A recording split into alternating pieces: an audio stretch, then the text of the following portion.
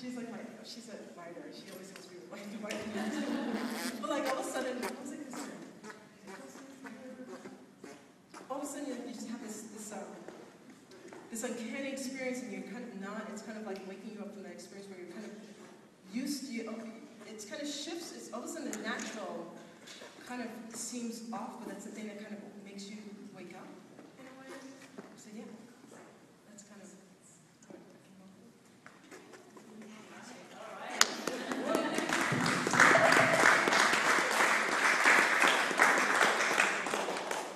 Will you take some questions? Sure. Does anybody have any questions for Karen?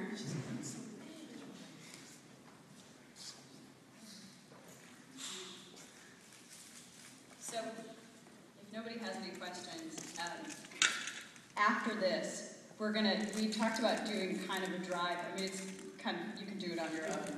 But just if, when you exit DiverseWorks, go under the freeway and then go up and over, over I-10, right, Sixto? You go over I-10 and then come right back down on the other side, and you'll be able to see the one, or if you get on I-10, obviously, you'll be able to see the one right here. There's a question right there. Today. I haven't seen them yet. Well, this morning they said we don't know. There's a storm, and then I get here and I'd be like, look, look, Do you look. want to talk a little bit about how you actually, what the process was that you went through With to CBS get this Outdoor? done? Yeah, and also photography and everything. Yeah, it, it was pretty intense because I, when I first proposed the project, I remember so, talking to someone at CBS Outdoor, just submitting my proposal, and they gave me this figure, and I was like, wait, this is like hundreds of thousands of dollars. I'm like, this, this can't happen. But then once, like, once I started working with an account executive and I met with the, kind of the head of the office, they realized that this is a project. I had to convince them that maybe if it goes well in Houston, it could go to other places, and this is good for your company. So, but then it was me. But then I knew that, so that kind of was resolved, and we kind of figured out. I knew I wanted to work with CBS Outdoor because they kind of have a commitment to kind of nonprofits, like they do all the advertising museums and for the universities. So I kind of felt really good about them compared to Clear Channel, which has had issues, um, that company. But then um, I knew, I thought I was going to do all the photographing myself, and then I realized, oh my God, I don't have a good enough camera. And then I don't have enough time, and then I'm not, I'm good, but I need someone who's real good, you know? So then David came along, all these people were like, David Brown, David Brown, David Brown, he's the man.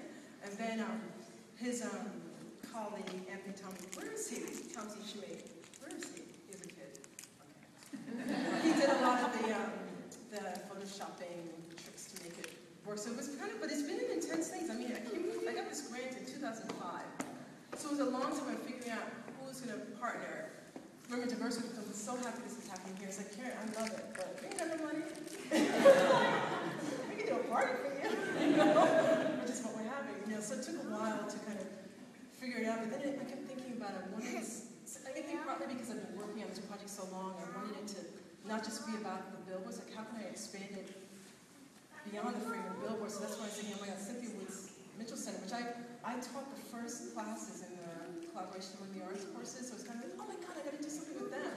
So then now we have the whole music component of the project, which I'm really excited about, like how to then create the score that can kind of complement or be dissonance with it, but also the performance. And I'm almost feeling like this video that we're gonna create is gonna be a live performance as well to go along with the live music. So for me, it's exciting. I have this other, other component I couldn't have dreamed of back, you know, 2015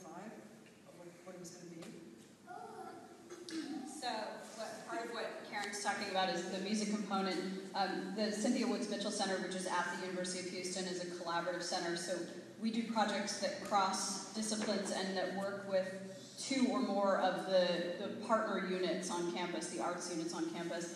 And so, when Karen proposed her project to us, we thought, what else could we do uh, from another discipline to really complement the project, and we ended up commissioning a score by two composers that are in the Moores School of Music. Where are they? Yay! Um, so Joel Love and Paul Wadley, right? Is that the right pronunciation? Okay, yeah. So, um, so we'll be hearing those scores live on November 16th, and on the card announcement for this project, you'll also see that that live recital on there. So we'll be able to hear those scores live. And right after that, um, that day, right, the MP3 file will be available for download on the KUHF website and our.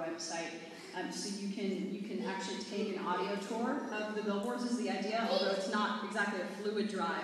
You will be able to take an audio tour of the of the billboards and listen to the to the music at the same time. How many billboards? Thirteen. They thought it was twelve, and they thought it was like. Any other questions for Karen?